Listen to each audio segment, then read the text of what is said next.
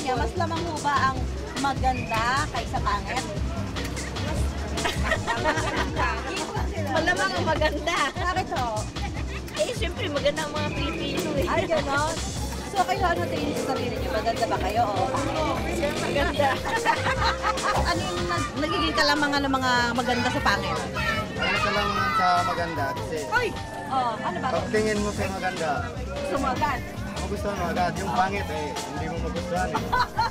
So, gusto mo maganda? Gusto mo maganda talaga. Dahil pogi ka. Hindi naman. Mas lamang talaga yung maganda ko. Bakit mga maganda sa pangit? Ah, sa aking experience sa mga pe, at ano, tungkol sa mga buhay, sa pagtatrabaho, siyempre ang gusto talagang ng isang employer tungkol sa unang muna kagandahan. Then, sa unang be, for ano pa lang ah, So, ano tingin mo ngayon ate sa sarili mo? Maganda ka ba o pangit? Ngayon pangat ako kasi hindi pa ako nakaayos eh. Pero siyempre pag nakaayos tayo, may itsura tayo. Ano ba sa malagay mo ang ah, mas lamang, maganda o pangit? Ah, pangit. Oh, yabang mo. Nakikita ang pangit eh. ano, may bentahe ba ang maganda laban sa pangit? Ah, mayroon. Mas lama. Bas, bas, ba't lamang ang mas maganda? Siyempre, magaganda sila eh. So, ikaw, ano feeling mo? Maganda ka ba o pangit ka? Cute lang ako. Hindi ko tinitingnan yung kapangitan. Kasi minsan nandun yung kagandahan sa kapangitan. Oh, di ba? Kayo ho, sa palagay niyo na ay, ano kayo, maganda ba kayo o pangit? Ay, syempre maganda ako. no? Mas namang maganda. Bakit? Kasi maraming babae ngayon mga siksi. Kahit may mga edad na. Oh, ganun ba yan? Oh, eh, sa, kayo, sa palagay niyo ho ba, maganda kayo, pangit? Maganda. Maganda. Kasi hindi ako iniwanan ng asawa ko. Makikilala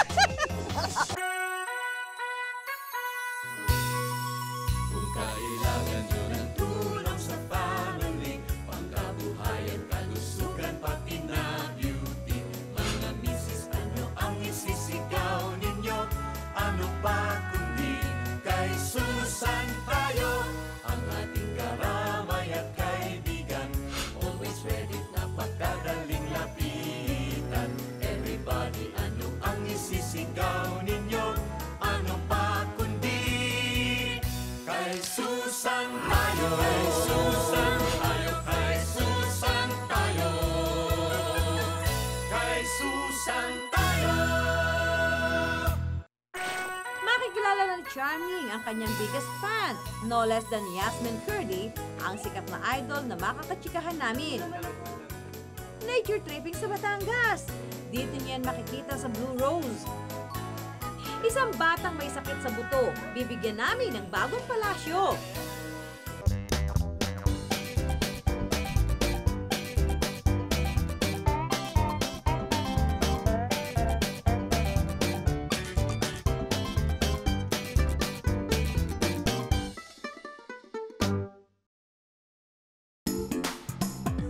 Espesyal ang lakwatsa natin ngayong umaga. Dahil bukod tayo sigurado mag enjoy I'm sure magiging memorable din ito para sa ating mga makakasama. Meet Richie, Nonoy, Imboy, Adora at Evangeline. Magkakapit-bahay na di raw nabigyan ng pagkakataong mamasyal dahil sa hirap ng buhay. Ano kids, ready na kayo? Let's go! Let's go! Sakay na kayo dito dali. Kaya for today, isang munting sorpresa ang hatid ko sa kanila. Let's go kids! Samahan niyo ako sa aking pamamasyal sa Blue Rose Wildlife Park and Farm. Ang Blue Rose ay matatagpuan sa Lipa City, Batangas. 20 ektarya ang kabuoang laki nito. Sa lawak ng pwedeng ikutin. Naku! Excited na excited na kami ng mga bago kong kabarkada. Go! Yeah! Kakatakot naman dito tuloy na to ha. Go! First on the list, pakainin ng aming newfound friends. Dahil first time na mga kasama ko makapamasyal dito, di maitago ang pagkamangha nila sa paligid. Yeah, so meron kalapate, ito yung bingala para mga manok, di ba? Oh, iba't, iba't ibang Ano pa yung mga pwe? Ayan ho, naglalapitan na, oh. bingala po yan. Para tayo nilulusog ng mga... saka yung mga pabo. So pwede din silang pagisan. Di mapigilan ng mga chikiting na makipaghabulan sa mga ibon. Eh sa palagay nyo, magpapahuli ba naman ako?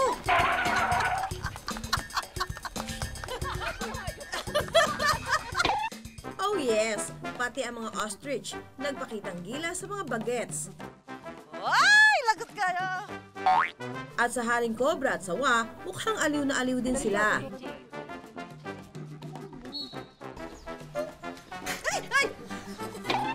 And of course, di rin namin pinalampas ang pagbisita sa baby crocodile at iguana. Sa iba't ibang sulok ng farm, makikita ang ibang uri ng mga hayop. May cazuari, peacocks, owl, eagle, bearcats at mga unggoy. At kung akala niya'y pagod na ang aking friends, nagkakamali kayo. Heto tuwang-tuwa silang magpadausdo sa mga slide at maglambitin sa mga swing. This is truly a kid's paradise. At kung nais niyo namang mag-relax, perfect din ito para sa inyo. Ay, ang sarap sa duyan. Pwede man dito na lang, kaya lang. May pinapasyal nga pala akong mga bata dito, no? Sayang. Kaya mo na, maya maya. Pupunta ako niyan.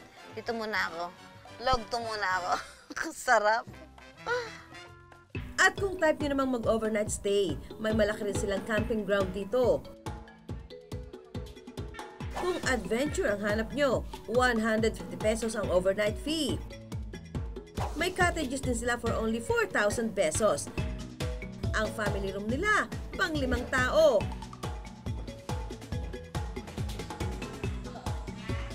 Kung bitbit nyo ang buong mag-anak, swak na swak ang private villa na ito.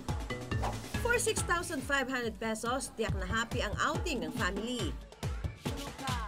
Oh, ano sa inyo? Perfect destination, di ba? I'm sure, hindi hindi malilimutan ng mga kids ang outing na ito. Paano ba naman maging ang kid at heart na gaya ko? Happy-happy rin dito. Ano? Pagod ba kayo? Pero nag-enjoy kayo? O siya, sige, sige na kayo. Meet Annabelle, ang diehard fan ni Charmaine, also known as Yasmin Curdy. Napunta ako ng Starstruck pag yung may tanggalan portion, yung elimination night every Friday. Tapos yon, dun ko siya na-meet. Nagpa-picture ako sa kanya nun. Tapos nung nagpunta kaming SOP, tapos na yung Starstruck, nakain ako nun sa may canteen, lumapit siya. Naalala niya na ako yung nagbigay ng teddy bear sa kanya. Eh, two months ago pa yung binigay ko yung teddy bear, so parang nakakatuwa. Eh, gaano nga ba ka-diehard fan itong si Annabelle? Sa totoo lang po, nakikipag-away rin ako. Especially sa IGMA.tv. Kasi di ba sikat na sikat yung Encantada, no? Ang tawag namin pag may nangaapi kaya sa mga hator. Una nating nakilala si Yasmin sa reality-based artista search na Starstruck. Di man pinalad na makamit ang titulong inaasam, na ipamalas naman ni Yasmin ang talentong hinahanap sa isang survivor. Kaya naman ang beauty niya ay napasama sa Final Four. Anong nangyari sa'yo? Nasaktan ka ba? Hindi po. Si Tiffany daw po talaga ang gusto magpapatay sa akin. After Starstruck, nagkasunod-sunod na ang TV shows at movies ng dalaga. Lulusubin natin ang sapiro. Aside from that, naging recording artist din siya ng GMA Records. I don't need to live in a palace-like house. Madalas man daw makita ni Annabelle ang idol sa mga TV guestings nito, trip na trip pa rin niyang mapanood si Yasmin sa taping ng favorite soap opera niya, ang Bakekang.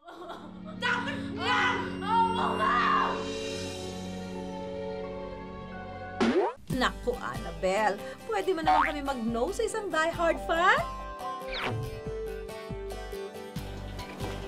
Andito kami ngayon sa set ng Bakekang at kasama ko ngayon ang avid fan nitong si Yasmin Curdy, si Annabelle. So Annabelle, excited ka namang ma makaniig mo uli si Yasmin? Sobra po. Sobra?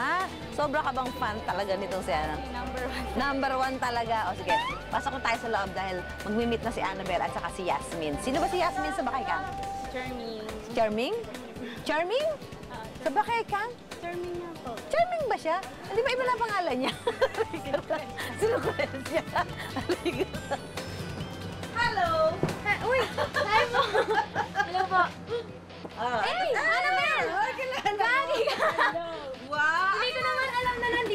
To. Kilala mo naman pala talaga Oo. siya. Nga. Since, since Star Starstruck 14. Oo nga raw. Sila na nandyan na sila. Yan yung mga loyal talaga. May gandang t-shirt din ako, black.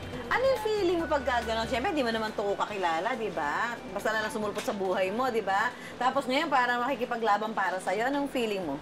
Siyempre, grabe parang nakahanap ng mga kapatid ko. Oo, ang dami mong kapatid, ano? Dami kong kapatid, parang nakahanap na ako ng family ko na, Oo. na bakit? Si Yasi, hindi ganyan, ganyan, ganyan. Parang nakita ng mga sisters ko na ano. Hanggang ano pwede mong gawin para kay Yasmin? Nagagalit kayo sa mga nakaapi sa kanya. Siyempre. Ano gusto mong gawin? wala. Pinag, ano, wala kaming ano, hindi, wala kaming gustong gawin. Kumbaga pinag-uusapan lang namin sa thread na, ano ba yan, bakit ganyan si Jen? Kasi sinabi, basta sinampal, sa yung gawin gano'n. Okay, eto po ang ngipin ko. Saan ang ipin? Ah, iyaan. Ah, oo. Sarap. Charming! Sus, ginulat mo naman ako. O, di ba? Tutok na tutok ito si Annabelle sa eksena ni Yasmin. Este, charming pala. O, siya, iha. Watch ka lang dyan habang ako naman ay busy sa pakikipagkwentuhan kay Bakekang. O, bitin ka ba ba? Girl talk naman tayo with Yasmin. Please welcome Judgment night pa lang na Starstruck sa Araneta. Kakanta na ako ng Voice Within. Hindi ko alam yung lyrics. So, judgment night na to ha, hindi ko alam yung lyrics, may idiot board pa ako. Habang nung galing namin sa catsuit, biglang 3 minutes lang ang binigay sa amin para mag ayos ako, lahat-lahat. Eh, yung mga makeup artist, inuuna na nila yung makeup ko sa hair ko bago yung damit ko. Ito tuloy, hindi ako nakapagsuot ng panty. So, eto, hila-hila ako ni Kuya Perry, yung AD namin. Yasmin, akit ka sa stage, ganyan-ganyan. Eh, biglang may electric fan. Electric fan, tapos biglang lights. Naku, naiiyak na po ako. nun. Gusto, gusto ko nang lumabas. Yung gusto ko nang tumakbo, paalis ng, ng araneta. Kasi iyak na iyak na ako, naiiyak na talaga ako sa nangyayari. Marami nakapansin sa mabilis na pagpayat ni Yasmin.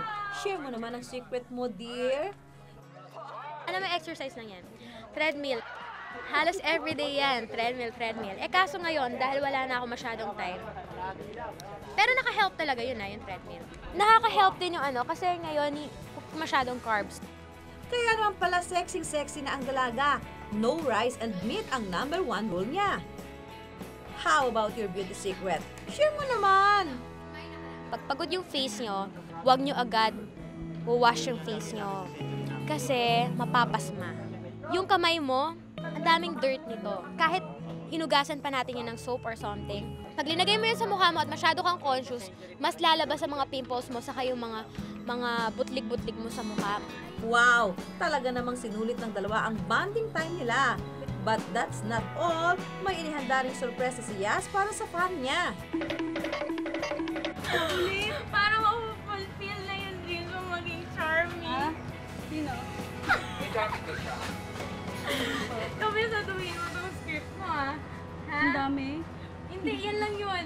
Tapos ito, yung dalawa. next speech nito, ha? Yan yun, ha? Yung naka-highlight dyan.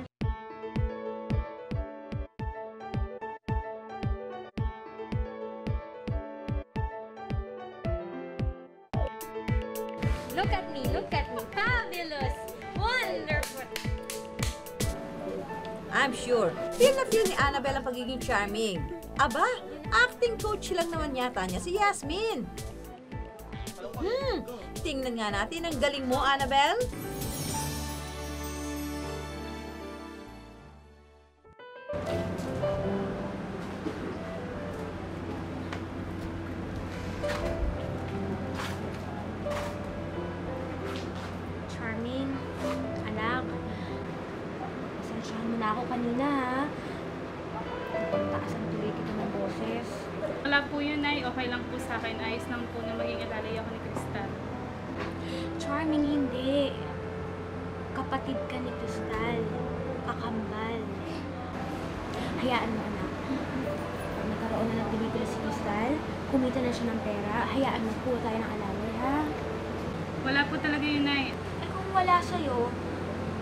Eh, bakit ka umiiyak?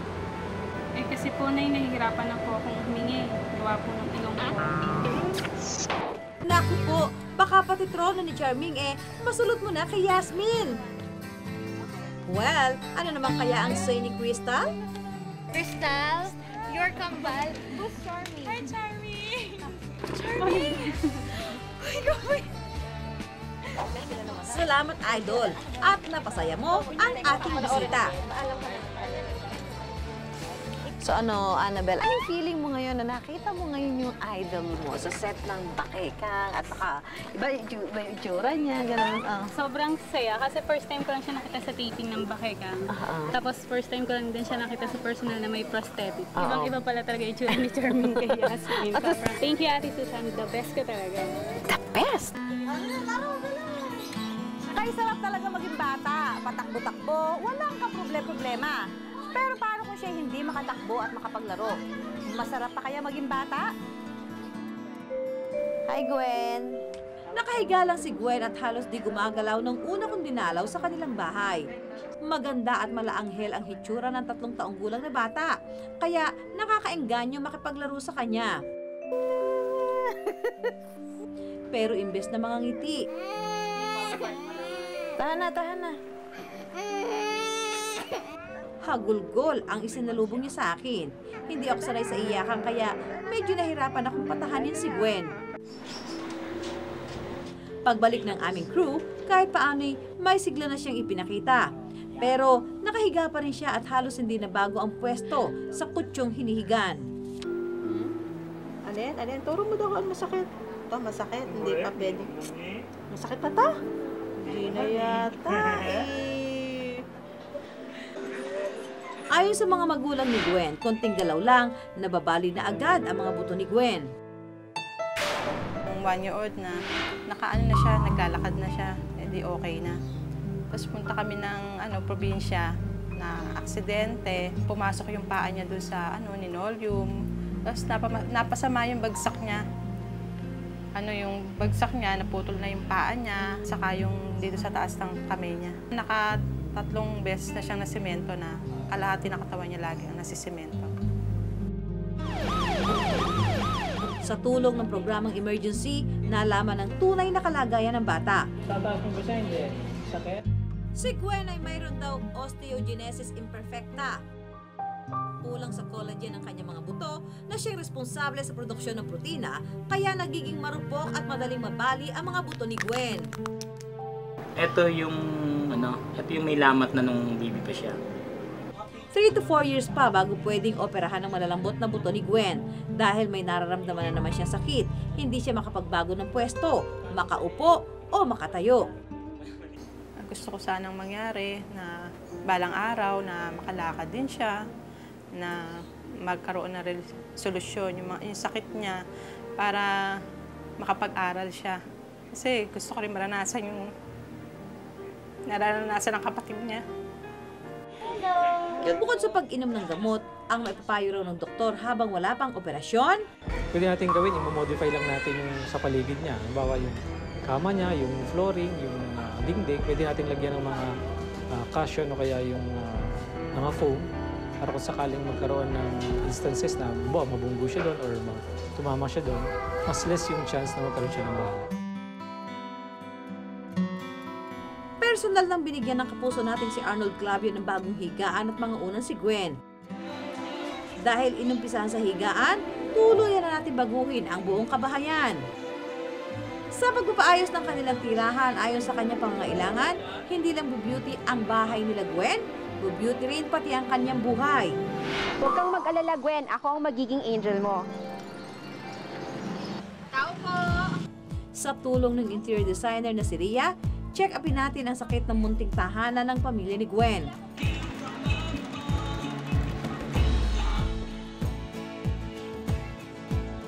Itong computer nito, mukhang ano pa ako nito ah. Oh, gagamitin pa ba natin to? Oh, unang-una dapat yung mga gamit na hindi na dapat gamitin, tanggalin na para yun ang una magpapaluwag ng bahay. Oh, ito. Ilan ba yung isda natin dito? Yan na nga po, dadala mo na. O yan, so since nakaka-occupy ito ng masyado ng space, pwede na natin itong ilabas. Para mag mas maluwag, dito na lang natin ilalagay yung wardrobe cabinet natin. Anong ginagawa ng toy sa kitchen? Tatanggalin din natin yan para ito magmukhang maluwag din. Tsaka lalagyan din natin ng cabinet to. Pero hindi, syempre hindi na mga toys ang gagamitin natin, ang ilalagay natin. Okay? Kasama ng ang kanyang mga trabahador. Nagbanat agad ng buto ang ating eksperto sa paggawa ng plano para sa bonggang house makeover na ito. Sa loob daw ng limang araw, magbabago ang siksik ng bahay at gagawin nilang munting palasyo para kay Gwen at sa buong pamilya niya. Tapos? Tapos? Ang galing! Kung ang batang si Gwen may sakit sa buto, ang tahanan naman nilang ito, ang sakit, problema sa espasyo. Kung si Gwen kailangan ng operasyon pagsapit niya ng anim o pitong taon, ang bahay naman nila gagamutin ng ating eksperto sa loob lang ng limang araw. At ang remedy, isang bonggang makeover. So guys, are you ready?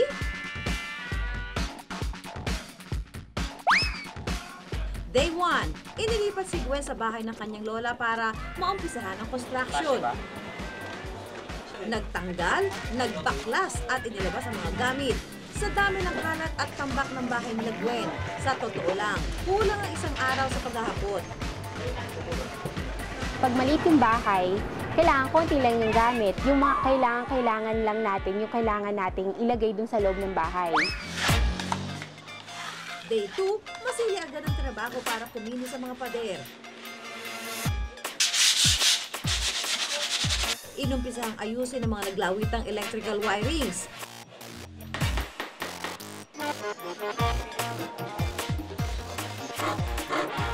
Syempre, woodworks para sa cabinets ng pamilya.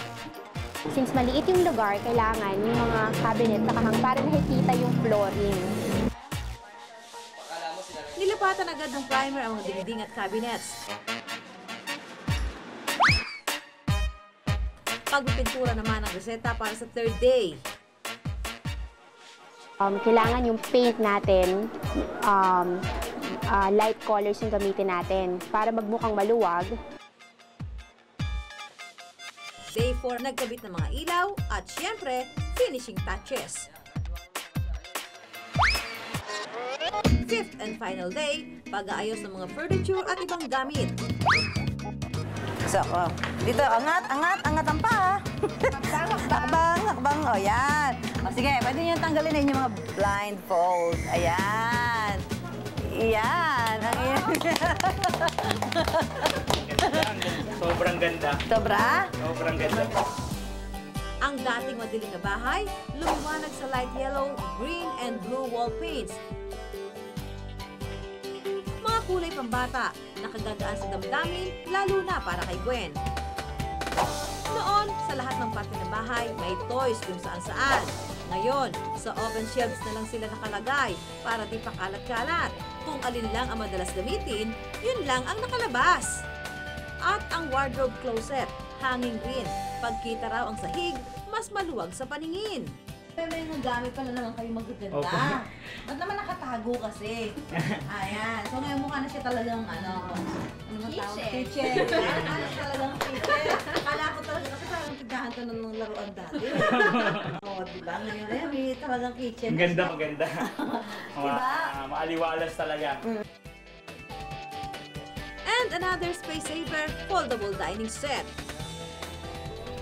Dual purpose naman ang bagong sofa na ito. Sofa sa umaga, bed sa gabi. Tipid na sa espasyo, kapaki-pakinabag pa ka mo. Ayun, so si Gwen, doon na lang muna sa ano, parang di ba nasa isang tabi siya talaga. Kasi nung pumunta ako dito, di ba nasa gitna lang siya. Ngayon, okay ba sa inyo dyan siya?